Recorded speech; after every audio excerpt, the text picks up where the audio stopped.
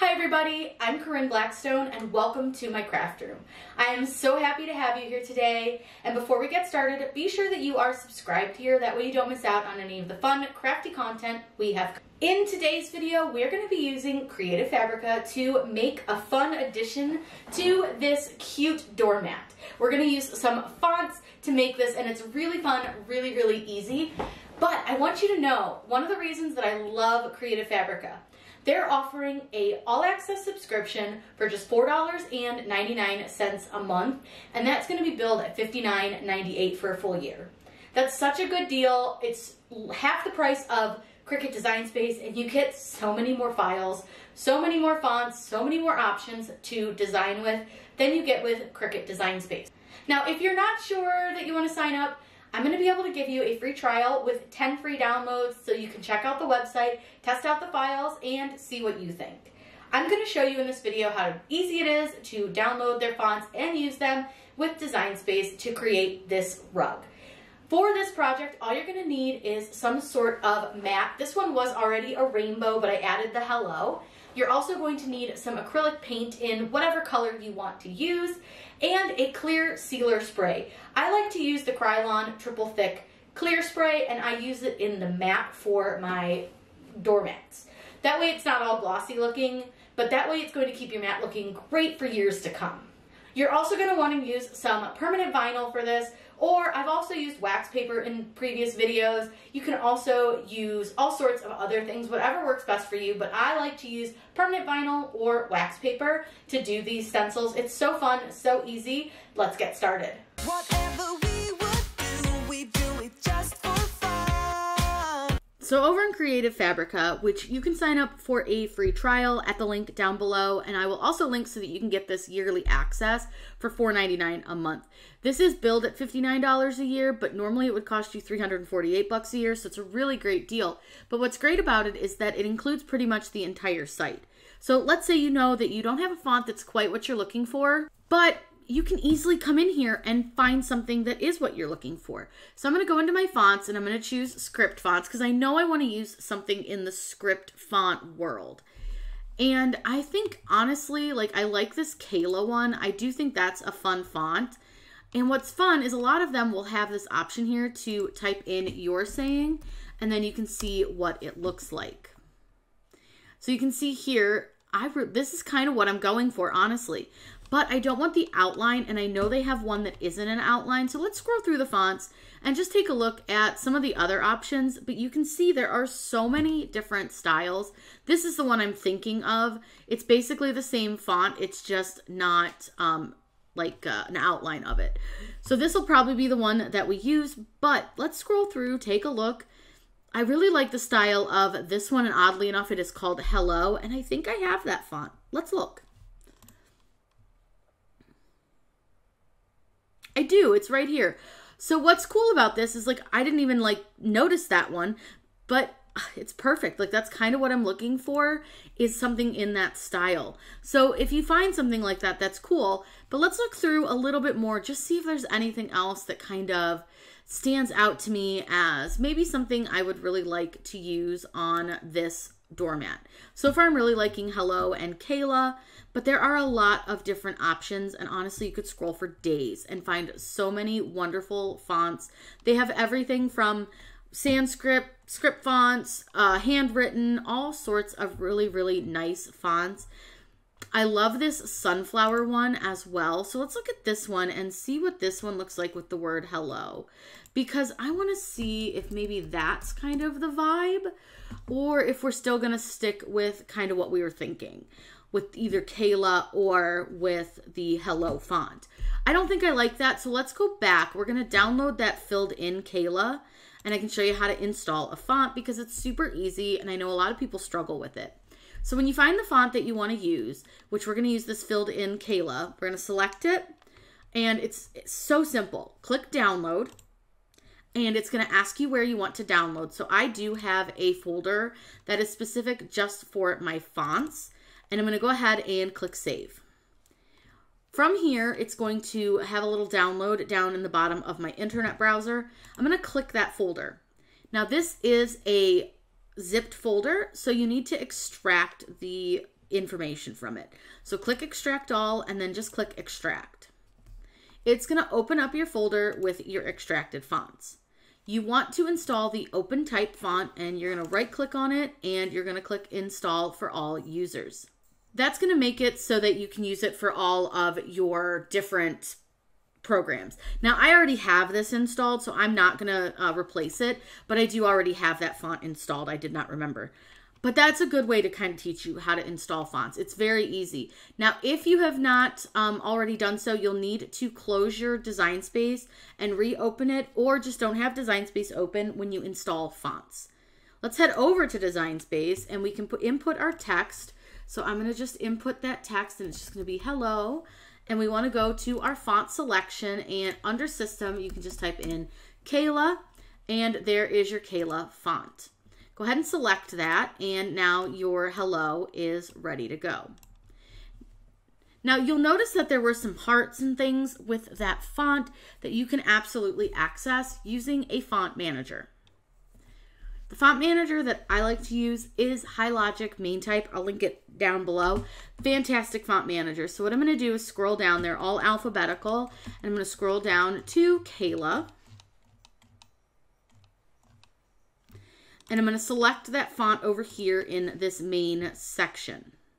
So you'll see over here that this is our Kayla font that we're using. But if you scroll down a little bit, what you'll see is you'll find these extra glyphs that have like fancy swirls on them or the H with the heart that we're looking for. What you want to do to get this over to your Cricut design space is right click on it and you want to copy it to your clipboard. Then head back over to Cricut Design Space and you want to select your font and edit it. So I'm going to get rid of this H. You need to use Control V to paste the correct H in. If you're on a Mac, it is Command V and that should work just fine. So this is kind of what our little hello is going to look like on our doormat. Now, I will say I feel like the L's are just a little bit close together. So I'm going to do an advanced and I'm going to ungroup to letters really quick. And I'm just going to see if I can move that L over just a touch without it looking too weird. I just think they were a little close together and it just was too close for my taste. I'm pretty happy with the way everything's sitting, so I'm going to select everything and I'm going to go to combine and I'm going to weld. Now I'm not going to change this in any way, so I'm not worried about welding it. This is just going to be for this one design that we're using. Now I do want to make sure to save this because I just don't want it to get messed up. So I'm going to call this rainbow doormat and I'm going to save it and then we will resize it here in just a second. So our mat is pretty large, so we can really make this very, very big. Our mat, I can definitely do up to probably 27 inches, but that's a little too big for the design on the mat. So what I'm going to do is I'm going to go about 20 inches, and I think that that's going to be a good size for the mat that we want to do. Now, again, you can really kind of base it on however big you want to make it. I might make a little bit bigger. I think 21 inches. Now, what's great about this is we're going to cut this just on the regular Cricut. It's going to fit just fine, but we are going to use the 12 by 24 mat. Now, if you have a Cricut Maker 3, you can cut without the mat using smart materials. But for this one, we're just going to use regular vinyl. It's going to work just fine. This is going to be really fun. We're going to actually do this with acrylic paint and some Flex Seal spray to keep it nice and colorful throughout the years. Now we don't need to mirror this or anything. We don't need to do anything special here. We've welded and it's good to go. So I'm gonna go ahead and click make it so that you can see it's going to show us a big 12 by 24 mat. So it just asks if we wanna make sure that we wanna use that mat, which we do. And you can see your design on the mat. Now for this, I like to move it over a little bit more towards the center of the mat to give us a little bit of extra vinyl at the top and at the bottom here. And then I also like to pull it down just a little bit so that we have some vinyl at the end as well, just to kind of give us some space while we're stenciling. Now, because we're just using StarCraft HD for this, all we simply need to do is cut this on the vinyl setting and it's good to go. Let's head over to the machine and get this cut. We're ready to cut out the really long stencil for our design here. So what I do is, this is a 24 inch mat, and I'm sorry it keeps shaking you, it's hitting the little uh, cord that's attached. But what I do is I put it under my mat. I do this like I do when I'm doing smaller designs as well, but I find that this works really well when you are using like a big long mat and a whole roll. So this is a 10 yard roll of the StarCraft HD, which is what we're gonna be using today. So what I do is I put that roll onto my Cricut, and then you can see my mat here. All I'm gonna do is I'm gonna line this up. Now, this is not cut super straight from my last cut, so I'm gonna just try to line it up best I can with the sides of the mat and see if I can get it to go relatively straight. If it's not perfectly straight, I'm not super worried because I did move it down a little bit. But once I get it pretty well on there, I just kind of roll the roll away from it and then I just put the rest of the vinyl on. Now, like I said, is it perfectly straight? No. But is it okay? It's fine. It's gonna cut the vinyl just fine. So I leave my roll attached. It's way back here. You can't see it. And then from back here, I'm holding my mat. You can kind of see how it's moving. I'm gonna load my mat in and then I'm gonna keep holding my roll back here because I don't have a lot of space. This is on like a kind of a like a less large table. I'm gonna go ahead and let this cut while I'm holding the roll out at the end. Once it's done cutting, I'll show you how we're gonna weave this and then we can apply it to our mat.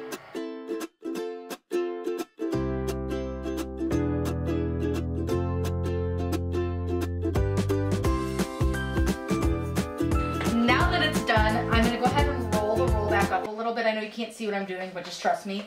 I'm just rolling the roll up a little more so that I'm not like with a bunch of excess vinyl. I'm gonna go ahead and unload the mat and then for this, I'm gonna go ahead and slide the machine out of the way so that you can see a little bit better. Um, but I do like to not cut when I'm doing a stencil. I don't like to cut it right against the edge of the stencil. I like to give myself a little extra room. So my stencil ends right here, but I'm gonna cut it down here a little bit and I'm just gonna put a little slit in the vinyl and then I'm gonna flip it over because this is a roll, so I wanna try to keep it straight. So I'll usually just cut it as straight as I can on like the next line down from where I cut the slit because I just don't care if it's a little bit too big. Especially with a stencil, you want that little extra edge so that you don't get like paint somewhere that you don't want it. The next thing I'm gonna do is unload this from the mat. This mat is crazy sticky, so I'm gonna be very careful unloading it. So the first thing I'm gonna do is flip it over so it's on the back side, and you'll see that my vinyl hangs out. What I'm gonna do is I'm gonna roll it back a little bit and then just with my hand, I'm gonna help hold my vinyl down as I roll my design back, like my mat back off of the design. Because otherwise I'm gonna end up with really curly vinyl and I definitely don't want that. But this mat was like brand new, so it is crazy sticky and I, oh, I cannot even. It was so hard to get the little mat cover off. So now I wanna put the mat cover back on and I know that this can be kind of a pain. So what I do is I hold it way up in the air and then I line up the hole where like the hanger hole is and then I just lay this down. And as long as it's covering 90% of my mat, I'm fine with it. If there's a little corner not covered, it'll be okay. Now what we need to do is to weed this. Now I'm pretty sure this uh, vinyl has the white backing because this is an older roll from back in the day before they um, had the blue backing. So I'm going to go ahead and weed this, but what you're going to do is you're going to actually weed out the letters. Yes, this does have the white backing, so it's going to be hard for you to see it, but I'm just going to weed out the letters. And by doing so, it's going to create that stencil that I need. You want to make sure the centers of your letters all stay intact because you are going to need those for your stenciling. Now, it is important to make sure that you do weed this in the correct way is obviously if you don't, it's not gonna work and you won't have a stencil. You'll end up with like a weird design that just isn't quite what you're looking for. So let me get this heart out of here. And we are all weeded. This was really easy to weed. I don't know how well you guys can really see that because um, like I said, this is an older uh, roll, so this doesn't have the blue backing, but the vinyl has blue backing now. But if I move it a little bit, oh there, you can see it a little better like this. So now I'm gonna go ahead and I wanna put transfer tape on this and then we're gonna get it stuck to the uh, doormat. We need to put transfer tape onto our giant decal here. But because this is not gonna wanna stick amazing to the mat, because obviously it's like textured, it's a coir mat, we're going to take transfer tape and I'm, I'm gonna do this part quickly because it's fairly loud. But I'm gonna roll it out so it's as big as the decal and I'm gonna stick to my table a couple times.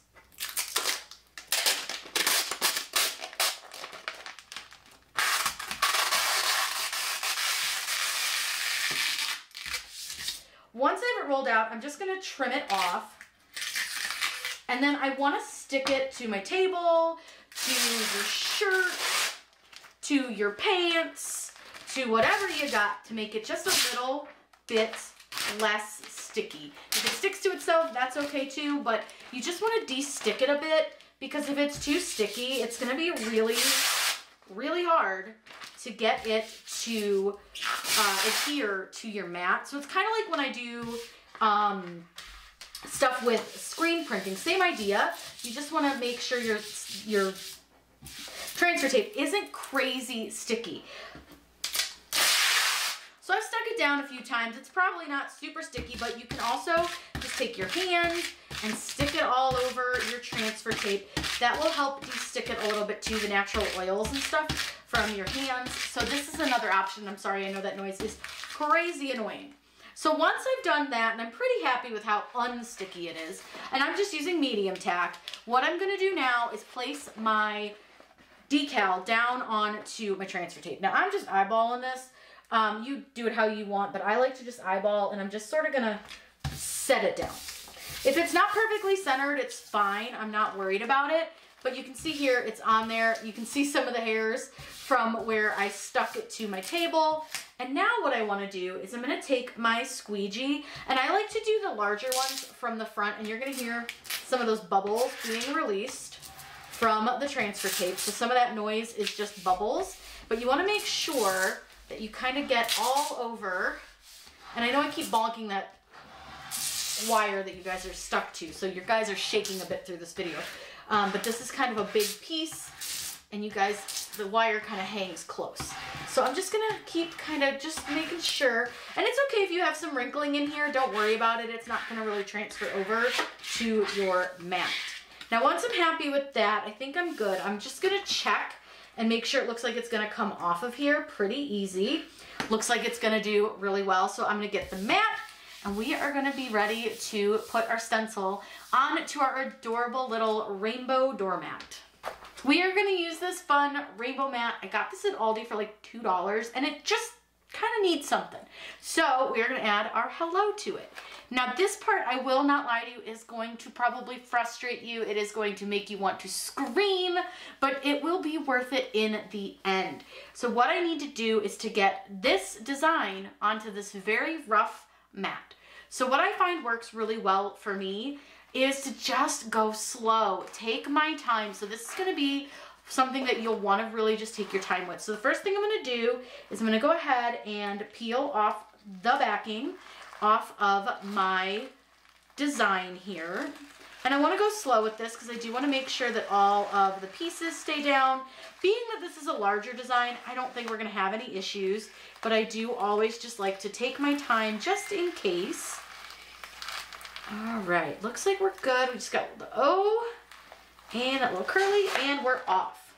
So now what I want you to do, I don't want you to put this down, face down just yet.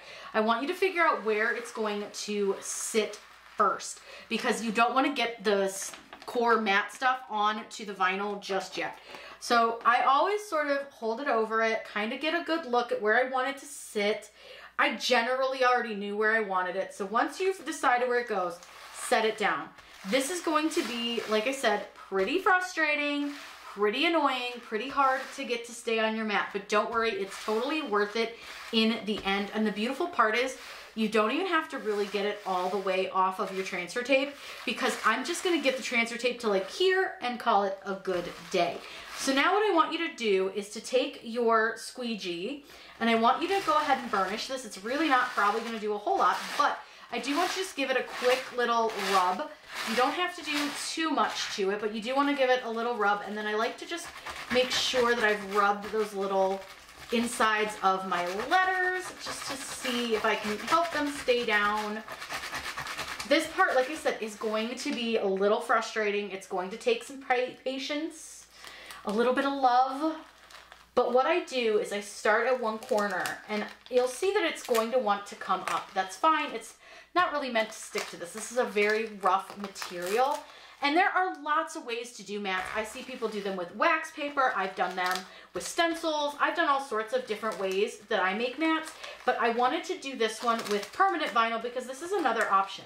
So if this is not something that you want to try, that's okay. You can do this with other materials. So just because I'm using vinyl doesn't mean you have to if you don't want to. So now what you're gonna see is like, I'm gonna hold down the parts of the design just to help them stay in place. So I just wanna kind of work at one piece at a time. So I'm just going to kind of help all the pieces stay down. So like the center of this O wants to kind of come up because it is small. That's okay, no biggie, we got it. And then we wanna go for the section here with the L. Now one thing I'm gonna tell you is it really helps if you use your whole entire arm and just sort of help it kind of hold everything down. I'm just using the pressure of my hand on the vinyl to really help hold everything down. And we'll go right back over this with our hands just to make sure that we don't have a lot of bubbles and everything's generally staying down. It's never gonna stick completely. That's just the nature of the mat because it is such a rough surface. But like I said, this part's gonna test your patience. It's gonna make you wanna scream a little bit.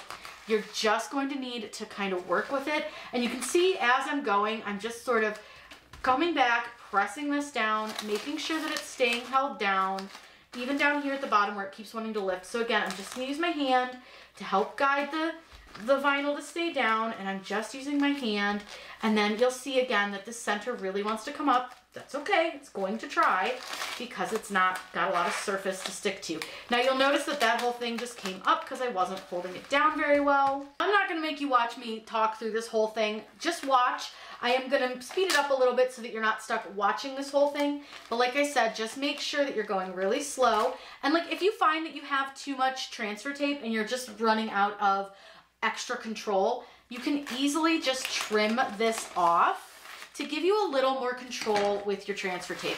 It can also help to come through every once in a while and just repress down the backing like over here where you haven't pulled yet. So I'm just gonna go ahead, take my time, get all this off, and then we're gonna be ready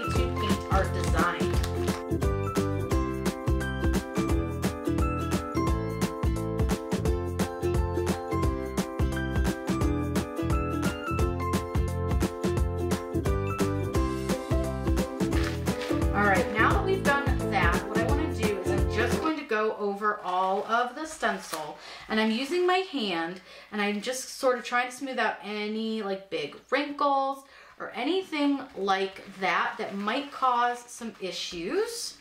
I think we look pretty well stuck. So once you're happy with how well your vinyl is down and you're going to want to be very careful with this because this is not something that you want to do haphazardly. You don't want to go in and brush this on. You want to use stencil brushes. So I have a larger one and a smaller one here that we're going to use to stencil our design. Now because I have this big open space over here, I'm just going to use that to put my acrylic paint on. And I'm just going to kind of squeeze out a little bit. I don't need a lot, just a little. And I'm gonna start with the big boy and I'm just gonna gently dab it. And that's way too much paint. You want a drier brush for this. So you just dab your paint off of it a little bit. And then I just want you to go in and you're gonna go in an up and down gentle motion. And remember, this is done with light layers. So we can go back in, get a little more paint. And you wanna take the paint that you dabbed off and use that to dab your next section. So you just kind of go through and light taps. I'm not hitting it like really hard. I'm moving in and light and you can see it's done with very light layers. I'm not gonna go in and do like a huge dump of paint. So that's what you wanna do all the way around. And I have the smaller one just in case we need it, but I don't think we're going to. And you can actually hold your vinyl down if it's trying to move at all, but this is just the way to do it. You just gently tap your way around. And like I said, you can definitely use the smaller brush if you want to in the smaller areas, but you can see that my layers are gonna be pretty light and I'm gonna do several layers. So I'm not gonna make you guys sit here and watch me dab this all in real time because that would take forever and you guys would be bored out of your minds. So I am gonna go ahead and do this quickly and you'll see that I'm gonna do multiple layers I'm gonna let one layer dry and then I'll come in and do the next layer and then I'll do the next layer. So you're gonna see that we will have several layers for this, but do not worry, it's gonna come out so cute when you're done.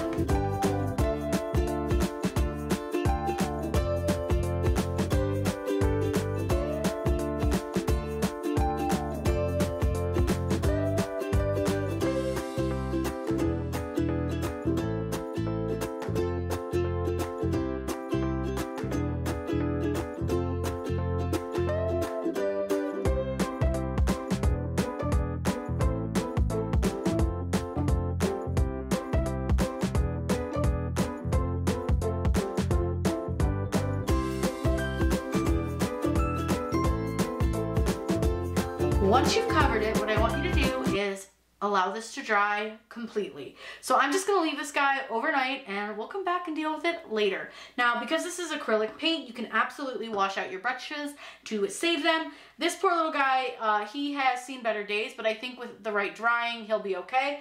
So I'm gonna go ahead, let this dry overnight, and then we're gonna be able to come back, peel off our design, and then we're gonna seal the mat as well to make sure that this really lasts a long time.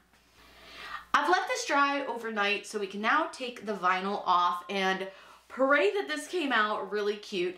And the vinyl should come off super easy since it really didn't stick very well. Oh, I think it's gonna be real cute. And then you wanna get the centers of your letters off. And what's nice about using the acrylic paint is that it doesn't have to come off while it's still wet. The acrylic paint isn't going to lift off of this. But oh my gosh, I'm obsessed. Like this came out even cuter than I had imagined. I think it is absolutely perfection. Now we are going to seal this to make sure that it keeps the acrylic paint really nice and neat and clean. We're gonna be using some clear spray for this in a satin. So I'm gonna take you guys outside and get this all sprayed off and show you how to do that. When sealing your mat, you want to do this in a well ventilated area, and I'm using this Rust-Oleum two times ultra clear in satin. Now, one thing I want you to note is that when you are spraying this, you want to spray it from several different angles. That way, it really gets into the mat and all around the mat. Now, I made sure to seal the entire mat. That way, the rainbow part didn't come off either. But you can see I spray it from the front, and then you can't really see, but I am spraying it from the back. I let them, those two like coats dry for about an hour and then I'm going to come back in and spray it again. Now again, you can't see me, but I'm spraying it from the sides as well just to make sure it's getting all over the acrylic as well as the rainbow paint because that can wear off when you buy these mats as well. Now, I definitely love using this Rust-Oleum clear spray. It works fantastic. You can find it at Home Depot, and I will link it down below for you. This little can lasts forever. It's fantastic, and it really looks great on the mat. It doesn't give it that shiny appearance. The mat really doesn't change at all since I did use the satin. I let the spray dry for about a full 24 hours just to be sure that it was good to go, and here's our final product. Now don't forget that you can sign up with Creative Fabrica with a free trial at the link down below, or you can just get all access for $4.99 a month. I absolutely love it. They have so many fun options, so many cool things to check out, so be sure to sign up. All the links for everything we used and where to find Creative Fabrica are in the video's description. I hope you all have a wonderful day, and as always, happy crafting!